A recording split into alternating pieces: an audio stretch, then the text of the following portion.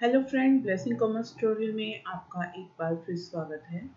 आज हम आपके साथ डिस्कस करने जा रहे हैं cost of capital series part one actually corona की वजह से बच्चों को बहुत ज़्यादा प्रॉब्लम आ रही है। सिक्स सेमेस्टर के हमारे जो बच्चे हैं पंजाब यूनिवर्सिटी को जो बिलोंग करते हैं तो उनको इत, आ, उनके एग्ज़ाम्स आने वाले हैं लेकिन कोरोना की वजह से वो कहीं पे भी कोचिंग नहीं ले सके। तो on the demand of just my six semester student मैं ये आज का वीडियो बनाने जा रही हूँ, जिसमें हम कोस्ट ऑफ़ कैपिटल चैप्टर जो है, हम ये पूरा ही क्या करेंगे कवर करेंगे अलोंग विथ प्रैक्टिकल सम्स देखिए, आज की हमने जो कोस्ट ऑफ़ कैपिटल है, उसमें कौन कौन से टॉपिक आज कवर कर रहे हैं।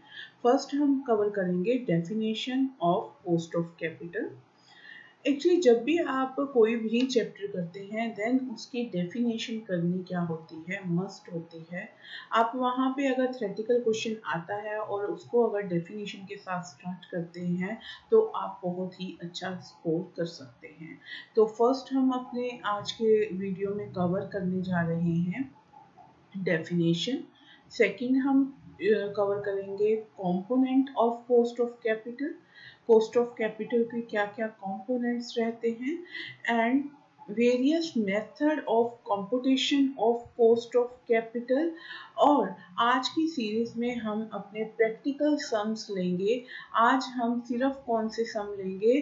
Which are based on irredeemable debt ठीक है जी? तो इन सम्स को पूरी तरह अच्छी तरह समझने के लिए हम अब, आप, आज की सीरीज़ जो है वो स्टार्ट करते हैं। तो फ़र्स्ट हमारे पास क्या है? Definition definition of cost of capital देखिए, कोई भी टॉपिक समझना है तो उससे पहले उसकी डेफिनेशन को समझना ज़रूरी होता है। तो cost of capital is the minimum required rate of earning देखिए, जो हमारा कोस्ट ऑफ़ कैपिटल है, ये क्या है? आपके पास मिनिमम कम से कम रिक्वायर्ड रेट ऑफ़ अर्निंग है और the cut off rate of capital expenditure या फिर आप इसको क्या कह सकते हो? कट ऑफ़ रेट और ये डेफिनेशन जो है, वो सोलेमन एड्रा ने हमें दी है। ठीक है जी?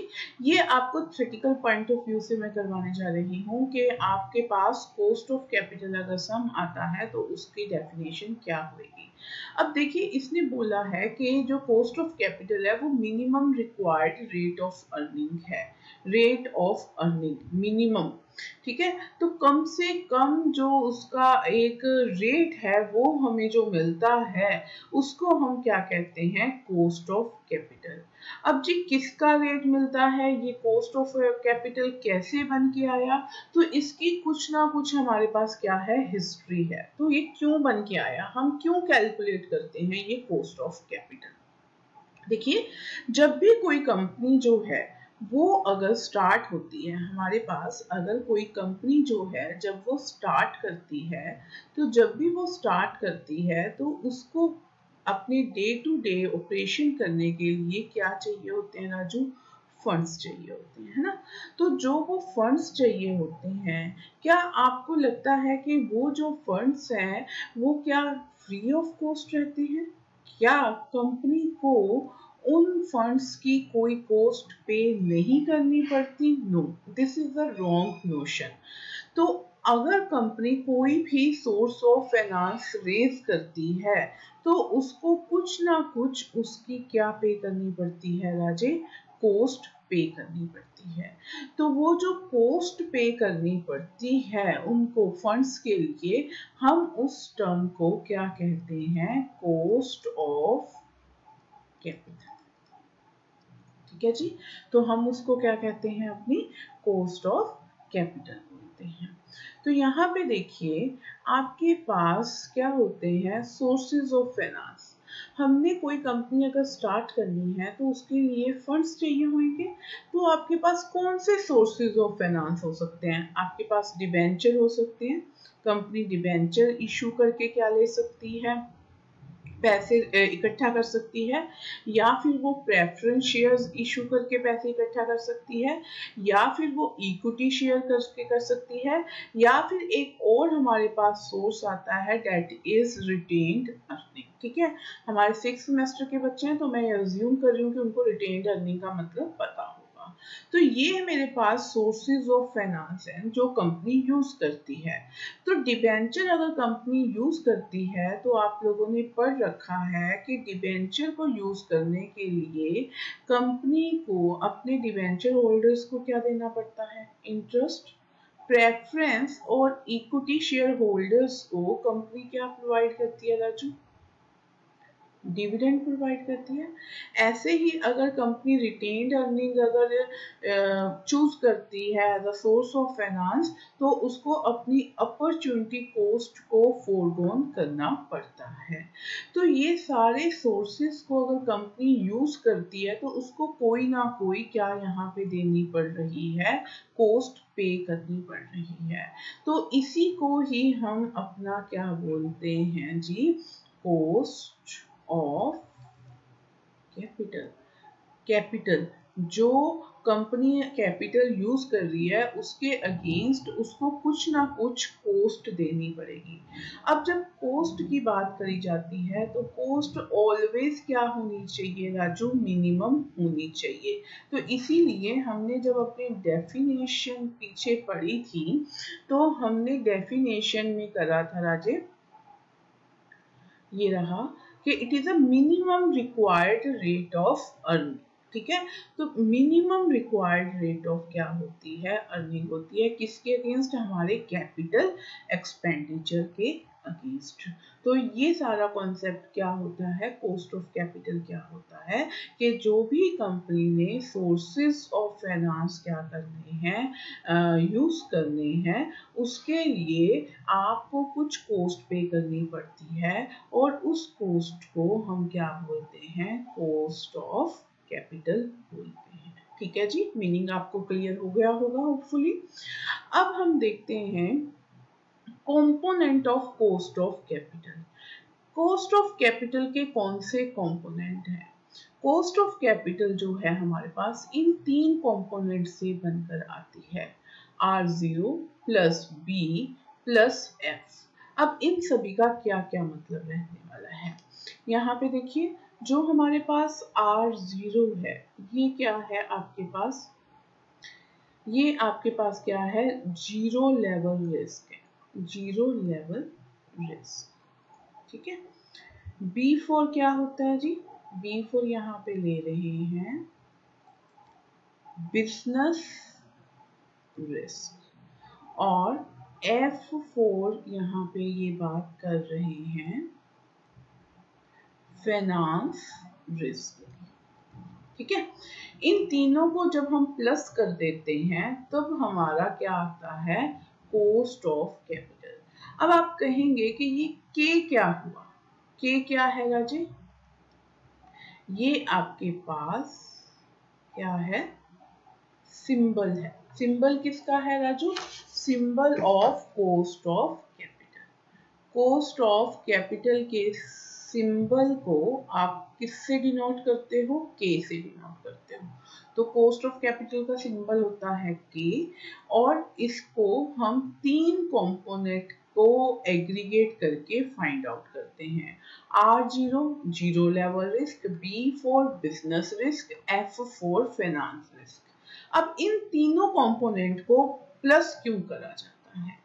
अब आप देखिए, आपके पास वन करोड़ की क्या है? कैपिटल है। अगर आप वो वन करोड़ की जो आपके पास कैपिटल है, अगर मैं उस वन करोड़ की कैपिटल को किसमें डाल देती हूँ? राज्य बैंक में रख देती हूँ। तो बैंक वाले मेरे को मेरी एफडी अगर मैं करवा देती हूँ तो एक मिनिमम रेट ऑफ़ रिटर्न वो एवरी ईयर मेरे को देते रहेंगे है ना? तो उसमें मेरे पास कोई भी रिस्क नहीं होगा। बैंक वाले, अगर मेरे पास पैसा है, मैं उसको बैंक में रख देती हूँ और मेरे को रिटर्न आनी शुरू हो जाएगी। तो एक तो ये हो गया। बिज़नेस रिस्क अगर मैं उसी पैसे को बिज़नेस में लगा देती हूँ तो in the form of profit मेरे पास कुछ ना कुछ क्या आने वाली है? रिटर्न आने वाली है।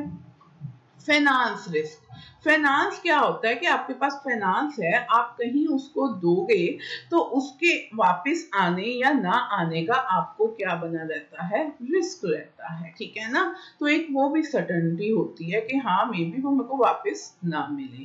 तो जो ये आपका कॉस्ट ऑफ़ कैपिटल है कि आपकी वो कॉस्ट ऑफ़ कैपिटल जो होनी चाहिए, वो किसके इक्वल होनी चाहिए? इन तीनों कॉम्पोनेंट को प्लस करके जो अमाउंट आएगा, जो रेट आएगा वो आपका कॉस्ट ऑफ़ क्या होना चाहिए राजू? कैपिटल होना चाहिए। तो दैट्स वाई हम, हमने बोला कि मिनिमम रेट ऑफ़ रिटर्न ठीक है ना? तो हमें वो मिनिमम रेट ऑफ़ रिटर्न कैसे एक डिसाइड करना चाहिए? तो वो इन तीन कंपोनेंट को प्लस करके हम अपने उस मिनिमम रेट ऑफ़ रिटर्न को क्या कर सकते हैं? फाइंड आउट कर सकते ठीक है? तो component of cost of capital R zero plus B plus F R zero is zero level risk B for business risk F for finance risk तो ये तीन मेरे कंपोनेंट ऑफ़ क्या है? कॉस्ट ऑफ़ कैपिटल है। अब देखिए, आपके पास हमने सिंबल की बात करी है ना? तो सिंबल की जब मैंने बात करी थी राजू तो उसमें आपके पास ये सोर्सेज ऑफ़ क्या है? आपके पास फाइनेंस है। तो आपको मैंने अभी बताया है कि जो आपके पास कॉस्ट ऑफ़ कैपिटल का सिंबल है, वो कौन सा है राजू? के तो अगर आपको डिबेंचर का सिंबल जानना है तो K is cost of capital D for क्या हो जाएगा?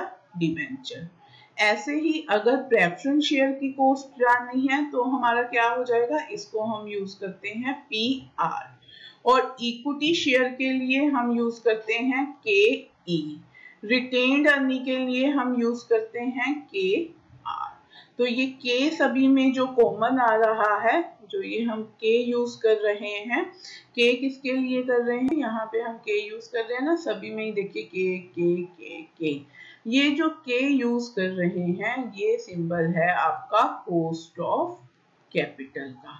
तो ये कोस्ट ऑफ़ डिवेंचर ऐसे लिखेंगे हम तो ये सिंबल आपको याद करने पड़ेंगे। Cost of debenture cost of preference share cost of equity share cost of retained earning तो ये हमने अपने component as well as symbol जो है, वो क्लियर कर अब यहाँ पे देखिए, हमारे पास सोर्सेज ऑफ़ फाइनेंस हो गए।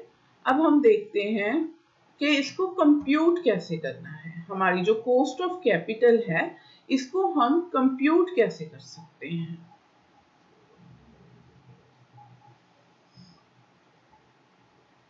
Computation of cost of capital cost of capital को कंप्यूट करने के लिए हमारे पास दो मेथड हैं। एक तो है स्पेसिफिक सोर्स ऑफ़ फाइनेंस का आप capital of cost of capital find out कर दोगे। एक आप उन सारे कंपोनेंट का वेटेज एवरेज फाइंड आउट कर दोगे। तो पहले हम ये सीखेंगे कि स्पेसिफिक सोर्स ऑफ़ फाइनेंस का कैसे फाइंड आउट करते हैं, ठीक है? तो उसके बाद जब ये टॉपिक हो जाएगा then we move to the weightage average तो आज की जो इस वीडियो में हमने कवर करना है, वो स्पेसिफिक सोर्स ऑफ़ फाइनेंस को कवर करना है। तो ये देखिए हमने अभी यहाँ पे डिस्कस करा था ये मेरे पास डिफरेंट सोर्सेज ऑफ़ क्या है फाइनेंस तो आ, हमने डिबेंचर का cost of capital find out करेंगे हम प्रेफरेंस शेयर्स का करेंगे इक्विटी शेयर्स का करेंगे और रिटेन्ड अर्निंग का अलग अलग स्पेसिफिक सोर्स का cost of capital find out करेंगे। अब कॉस्ट ऑफ़ डिबेंचर तो आज हम सिर्फ़ एक अपना क्या करने वाले हैं? कॉस्ट ऑफ़ डिबेंचर को हम क्या करेंगे? कैलकुलेट uh, करना सीखेंगे। जो ये कॉस्ट ऑफ़ डिबेंचर है इसको मैंने दो पार्ट में क्या कर रखा है राजू? डिवाइड कर रखा है। एक तो आपके पास होते हैं इरेडीमेबल और एक दूसरे क्या होते हैं राजू? आपके पास रिडीमेबल डिबेंचर रिडीमेबल जिसको आफ्टर सर्टन टाइम आप क्या कर लोगे? रिडीम कर लोगे, वापस मिल जाएगी आपको अमाउंट जो पूरा इरिडीमेबल जो पूरे लाइफ टाइम में आपको अमाउंट जो है, वापस नहीं मिलती है। जब आप कंपुटेशन करोगे तो कंपुटेशन के टाइम पे हम दो केसेस के अलग अलग फॉर्मूलाज करेंगे बिफोर टैक्स और आफ्टर टैक्स ऐसे ही रिडीमेबल में भी बिफोर टैक्स और आफ्टर टैक्स करेंगे। ठीक है जी? तो आज की वीडियो में मैं जस्ट आपको इरिडीमेबल केसेस जो है वो कवर करवाऊँगी।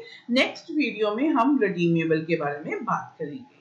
तो चलिए शुरू करते हैं इरिडीमेबल कॉस्ट ऑफ़ डिवेंचर को हम कैलकुलेट कैसे करते हैं। देखिए, जो इरिडीमेबल डिवेंचर है, उसको टू काइंड में आप क्या करोगे? फॉर्मूलाज को डिवाइड करोगे। कौन से काइंड में? फ़र्स्ट करेंगे हम इश्यूड एट पार और दूसरा कर रहे हैं इश्यूड एट डिस्काउंट और प्रीमियम ठीक है जी?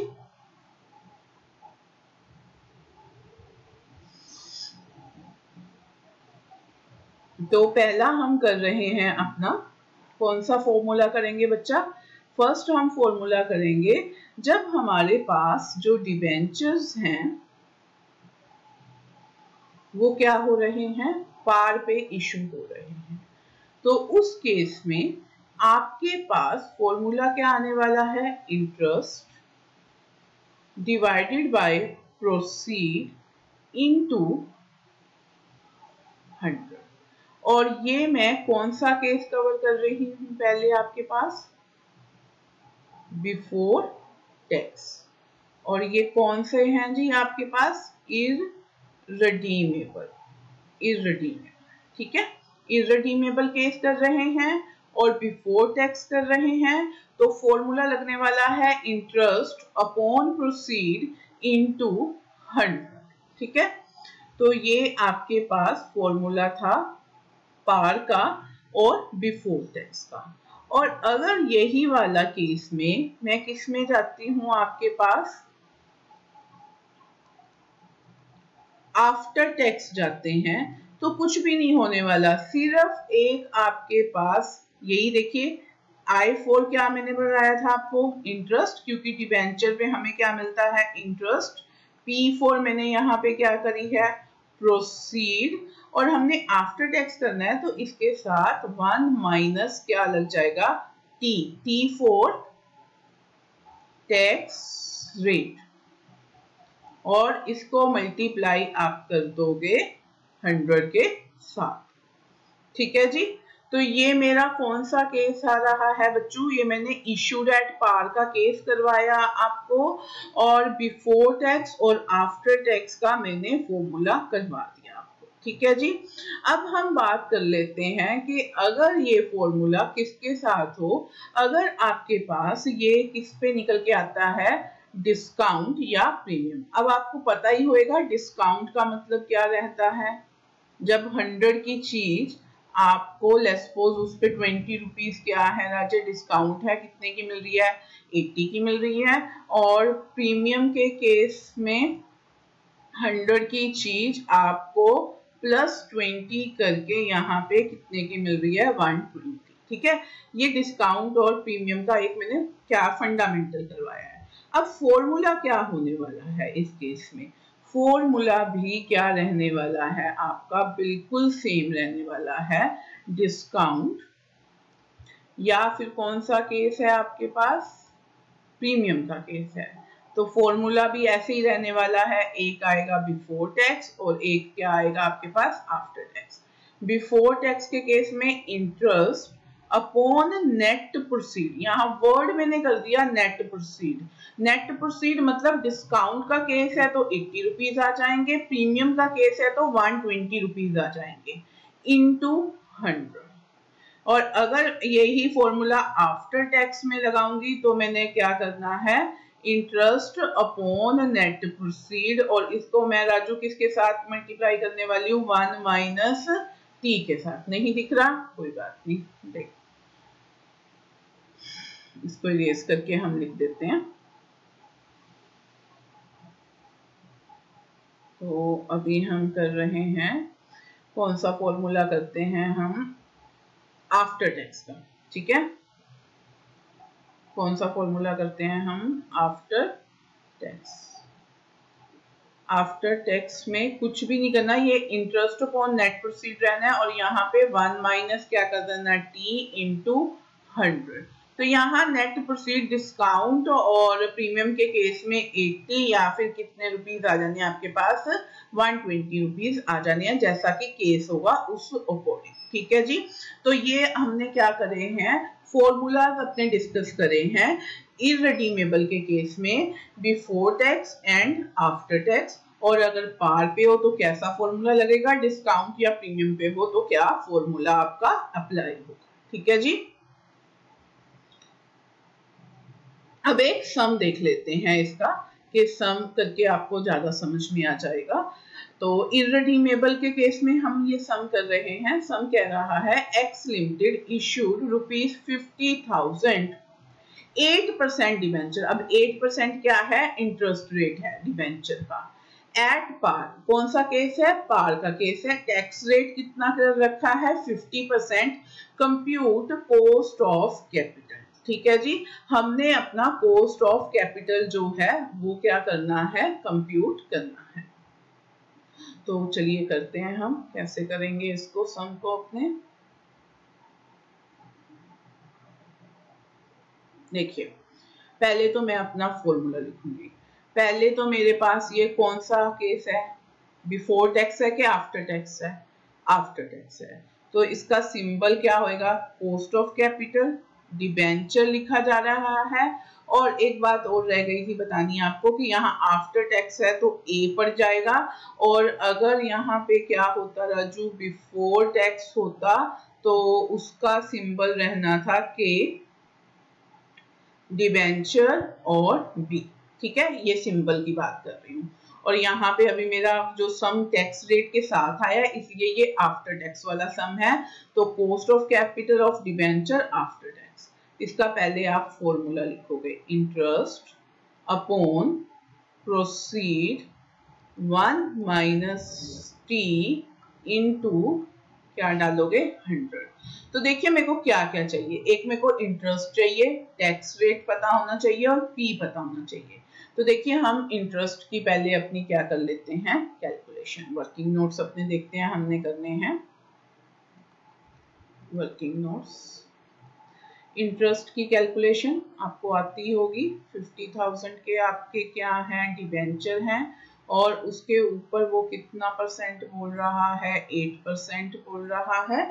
तो ये एट परसेंट कैलकुलेट करके आपके पास जो अमाउंट आ गई है, वो कितनी आ गई है?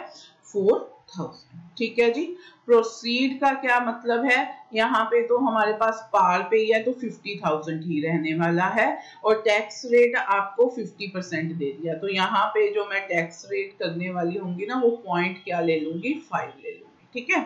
तो यहाँ पे आपने अब क्या करना है? हम ये अपनी जो वैल्यूज़ हैं, ये फिल कर देते हैं। ठीक है राजू? यहाँ पे देखो। आई फोर कितना था? फोर थाउज़ेंड डिवाइडेड बाय कितना कर दू?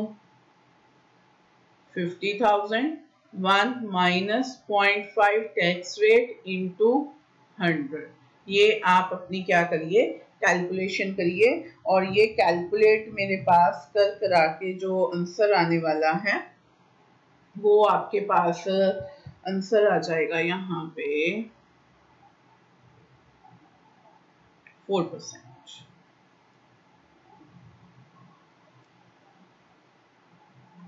ठीक है? आप कैलकुलेट कर लीजिए। डन तो ये मेरे पास पहला क्वेश्चन जो था, वो क्या था आपके पास? प्रोसीड का था। अब नेक्स्ट क्वेश्चन देखते हैं कौन सा है।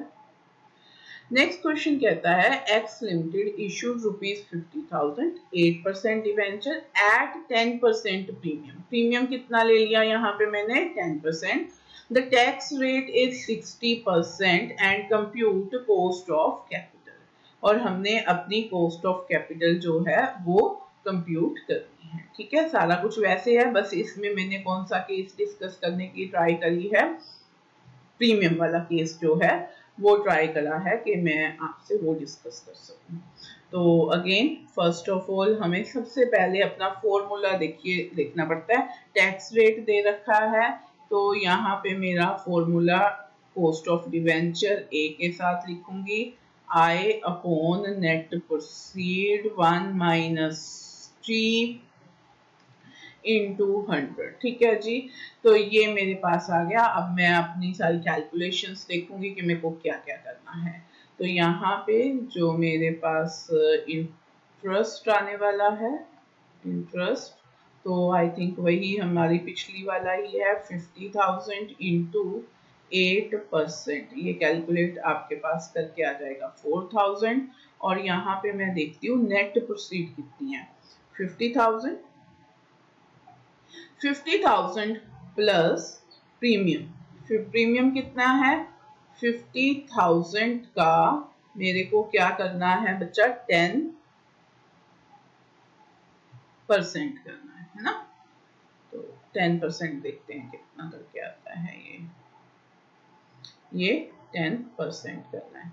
तो ये fifty thousand plus five thousand equal to कितना आ गया ये मेरे पास? फिफ्टी फाइव थाउज़ेंड आ गया।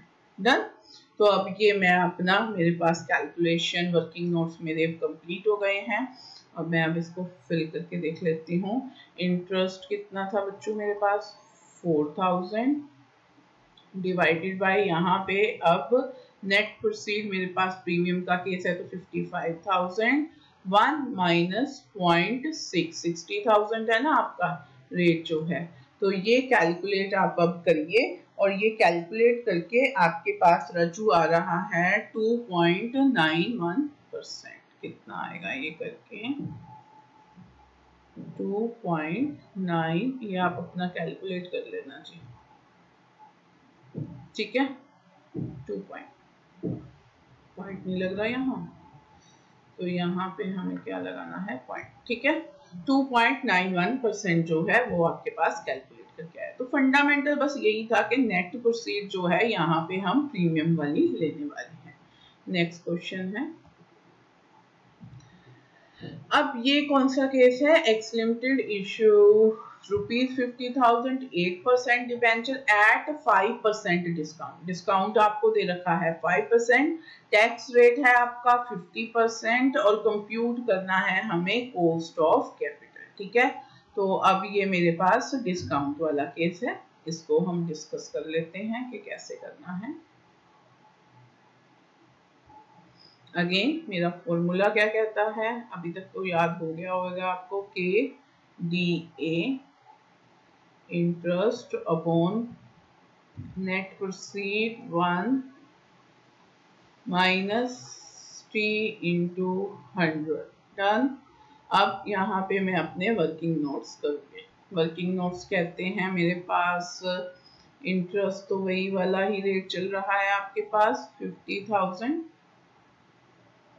into what eight percent अब एक बात देखिए कि जो आपने इंटरेस्ट की कैलकुलेशन करनी है, वो आपने फेस वैल्यू पे करनी है, ठीक है ना? चाहे वो डिस्काउंट पे जा रहा है, चाहे वो प्रीमियम पे जा रहा है, हमें उसको नहीं मैटर करना। फिफ्टी थाउज़ेंड पे ही यहाँ पे मेरे पास जो कैलकुलेशन जो है, वो होगी ठीक है? ये पॉइंट आपका नोट डाउन करने वाला है। बच्चा जो है, वो यहाँ पे ही फिफ्टी फाइव थाउज़ेंड जैसे हमने लास्ट केस किया है अभी हम डिस्काउंट करेंगे तो उस प्रोसीड पे कैलकुलेट कर देते हैं इंटरेस्ट नहीं। फिर आपके पास अब हमने निकालनी है नेट प्रोसीड तो नेट प्रोसीड है मेरे पास फिफ्टी थाउज़ेंड माइनस डिस्काउंट है ना तो मैं माइनस कर दूँगी। माइनस फिफ्टी थाउज़ेंड का क्या कर दूँगी? फाइव परसेंट कर दूँगी। तो ये कैलकुलेट आपके पास करके कितनी अमाउंट आती है? Four seven five hundred forty seven thousand forty seven thousand five hundred तो ये मेरी नेट प्रोसीड थी। चलिए, अब हम इसको फिल कर देते हैं अपना। फिल करके हमारे पास इंटरेस्ट कितना आ रहा है बच्चों? फोर थाउज़ेंड प्रोसीड कितनी है?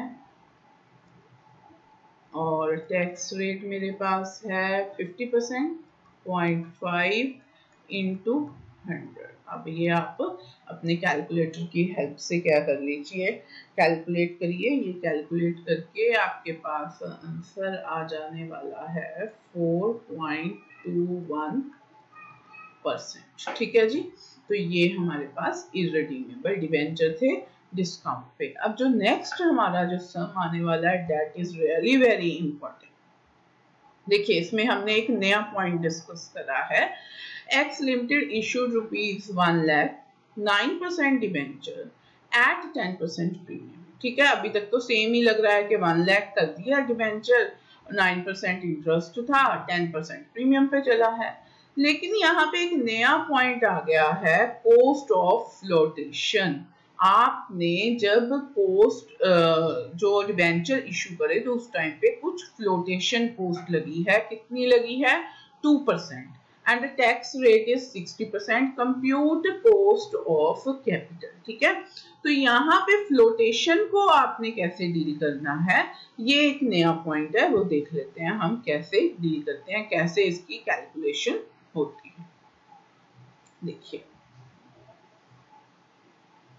अगेन फॉर्मूला आफ्टर टैक्स का है के डी ए interest upon net proceed one minus T into hundred तो इस केस में हमारी फ्लोटेशन कोस्ट को कैसे करना है, वो हम देखेंगे। वर्किंग नोट्स वर्किंग नोट्स में पहला मेरे पास इंटरेस्ट का पॉइंट आता है वन लैख है। वन लैख के ऊपर मेरे को नाइन परसेंट जो है, वो क्या कर देना है कैलकुलेट तो ये आ जाएगा नाइन थाउज़ेंड ठीक है? फिर उसके बाद मैं किसमें इंटरेस्टेड हूँ जी? नेट प्रोसीड में। तो जो नेट प्रोसीड है, वो देखिए, एक तो आपके पास वन लैख है। वन लैख में आप प्लस करने वाले हो प्रीमियम को पहले। ठीक है, पहले यहाँ तक कर लेते हैं। तो one lakh plus ten thousand premium आ जाएगा आपका कैलकुलेट करके। तो ये आ गया इतना। अब इसमें से आपको टू परसेंट जो फ्लोटेशन पोस्ट है, उसको डिडक्ट करना है। अब वो जो फ्लोटेशन कॉस्ट है, वो किस पे कैलकुलेट होएगी? क्या होगा? पॉइंट इज़ दिस तो वो टू परसेंट जो है, जो कैलकुलेट होगी, वो होगी आपके पास